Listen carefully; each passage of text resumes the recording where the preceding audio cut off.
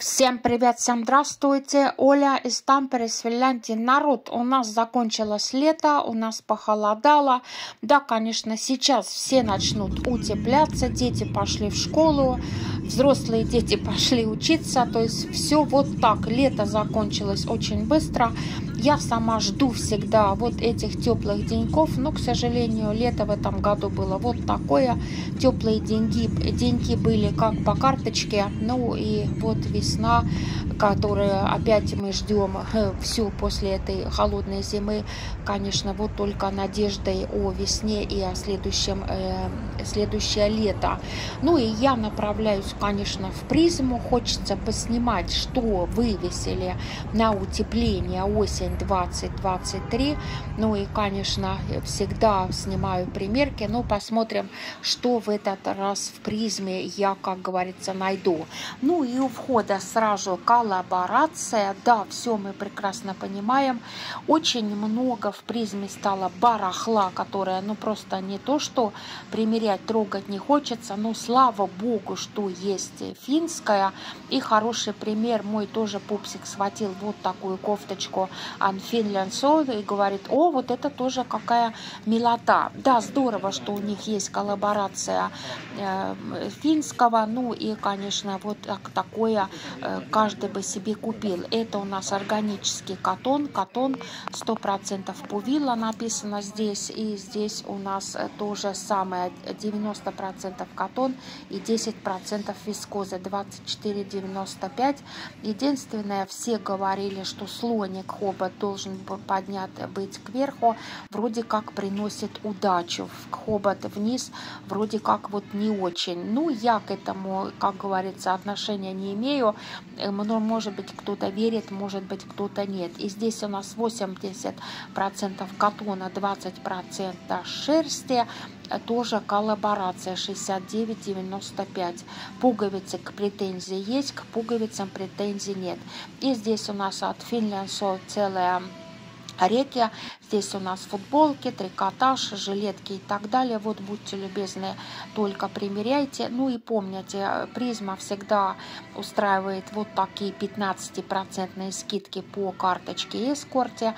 То есть, конечно, если вы такую карточку имеете и караулите, когда будут скидки, 15% тоже здорово. Вот здесь жилетка 60% катон, 20% полиамид, 20% шерсть, 44,95 ну и опять это их известный бренд эм, Слоник. И вот этот худи этот свитерок, с который примерял мой, ну да, очень миленький, ему, конечно, такое не надо, но он тоже всегда прикладывает к себе, хочет засветиться у меня в видео. Ну и много скидок, да, лето кончилось быстро, и лето кончилось вот так, конечно, если вот такое надо, ну почему не купить такие хорошие тапки, а здесь вообще пробковая подошва, то есть натуральная, если будете носить на голую ногу, ну это шик, блеск, красота. Ну и носочки теперь все носят э, по разным парам, то есть один может быть синий, второй может быть желтый, это тренд сезона.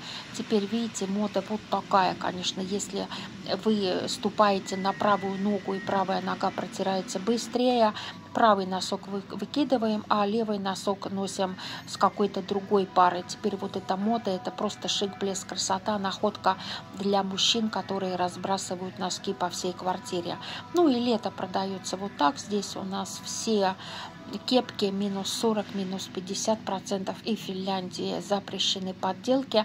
То есть все это продается, вот как говорится, натурально. Ну и где написано поезд, то это вот дай Боже, что нам не гоже. Последние штучки выгребли с прошлой зимы, с прошлой весны, с прошлого, как говорится, сезона. Вывешивают сейчас новое, ну и много выгребли старого. Я когда говорю, что так тяжело найти э, качественные вещи, это народ теперь и в призме, и в сети-маркете только из-за того, что люди покупают очень осторожно, люди покупают очень аккуратно, поэтому много остается непроданного.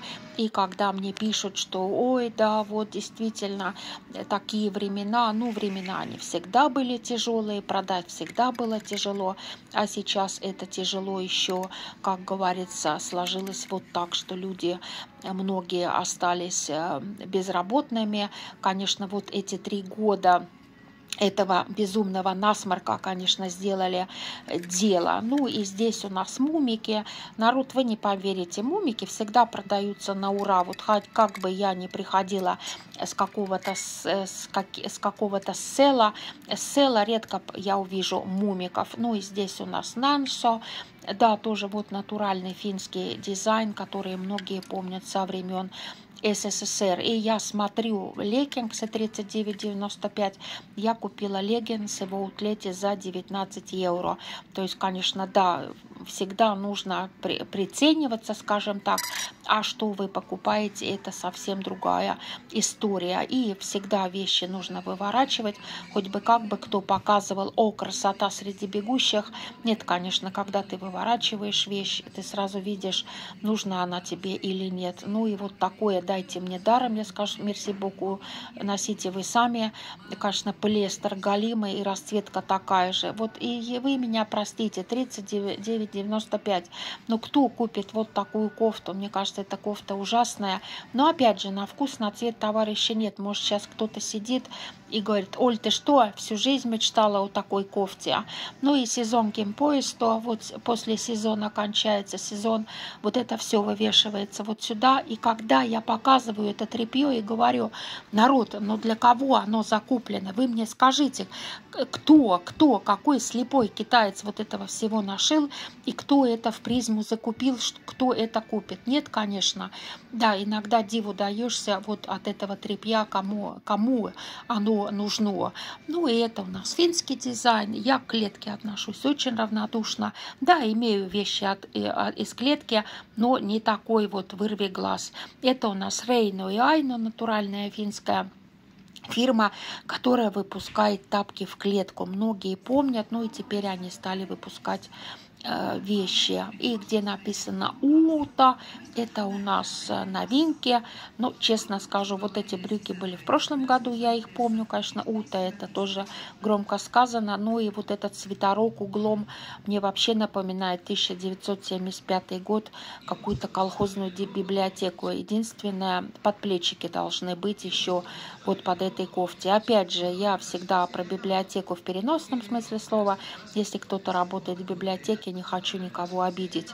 Ну и есть в призме приличная, вот, например, эти вся, этот весь отдел, это просто шик, блеск, красота, это у нас халти, натуральный финский дизайн, здесь у нас все, и обувь, и шапочки, и перчатки, и верхняя одежда, если в лес, и рабочая одежда, конечно, халти это самая красота. Ну и цена соответствующая, конечно, никакой не бюджетный шопинг.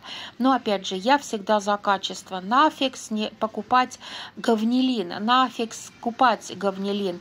Лучше купить одну футболочку от халти, и муж всегда будет прилично одет, и не так, что накупить, по, как говорится, дешевых, а потом они быстро выходят из строя. Да, конечно, дешевые тоже есть и приличного качества. Сама купила в лагере 157 футболок по 3 евро, э, катон 100%, претензий к катону нету. Всегда нужно смотреть, что вы покупаете. Ну и на утепление, конечно, вот такое. И теперь даже теплые носки купить большая проблема, потому что есть носки вот такие есть носки для э, э, кто ловит рыбу, ходит э, в лес и так далее. И посмотрите, даже вот такие носки есть. Если вас кусают комары и э, пунки, то бишь клещи, вот эти носки вас защитят. Ну и здесь у нас алпака, меринос, и всегда еще есть оценка на резинку.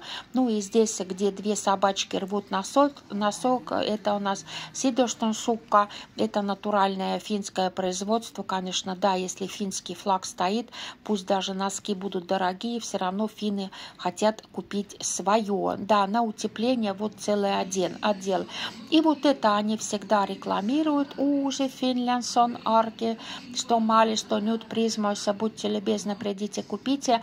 Расцветочка напоминает Маримеку, да, эти цветочки рулят всегда и всюду. И посмотрите, есть и зелененькие, и фиолетовенькие, будьте, как говорится, любезны на любой вкус. Вот эту серию я бы пришла с удовольствием померить, ну и скидки тоже есть. Я примеряю такой халат в цветочек, к сожалению, мне не подошел воротник, ворот был не мой. Ну и вот эти кафтаны тоже примеряю, они есть у меня в примерках. Мне безумно нравится был бы другого цвета, может быть, я даже и приценилась бы. Ну и вот это тоже вывешивается все вот сюда со скидками. Будьте, как говорится, любезно. 8 евро вот эти носочки. Ну, носки в Финляндии продаются очень хорошо. Это очень хороший бизнес, потому что дети в школах ходят в носках. У нас э, нету обуви в школе. Они снимают верхнюю обувь. Но в детском саду дети ходят в чешках. Я сниму шортик и сделаю в каких чешках дети ходят в детском саду. Это тоже вот такая система. Ну и эти халаты, это, конечно, никакой не халат, это домашнее платье. Халатов в Финляндии практически нет, только после сауны вот эти махровые халаты, в чем ходят эм, люди после бани, после сауны. Ну и, конечно, все вот так с картинкой, потому что ты должен иметь представление, если ты покупаешь, это у нас пижама с длинными или с короткими брюками, как сделана резинка и так далее. Да, конечно, и лому, пувила, то есть вот натуральная, натуральный катон.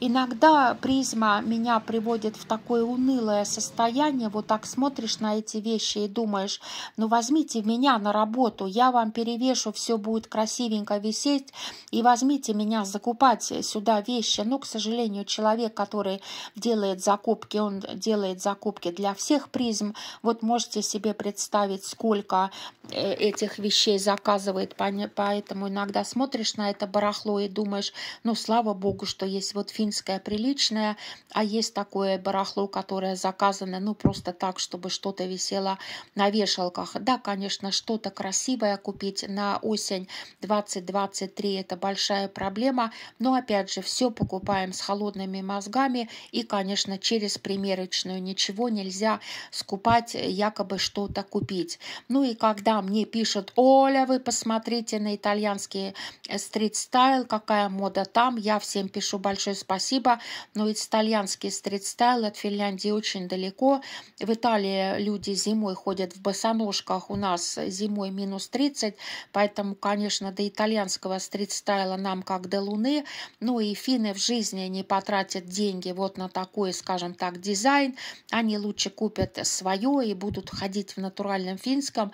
И поверьте мне, они воспитаны вот так. Им это не нужно.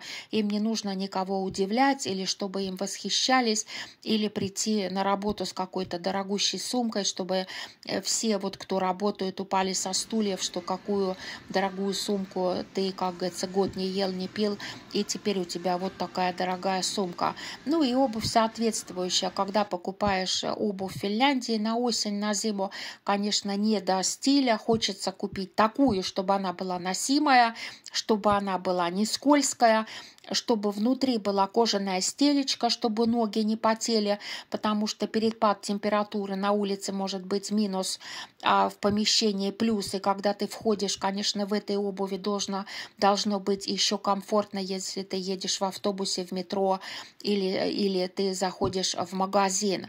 Всем удачных покупок, всем хорошего настроения. Подписывайтесь, не хворайте. С вами была Оля из Тампере, из Финляндии. Всем физкульт привет! Спасибо, что смотрели.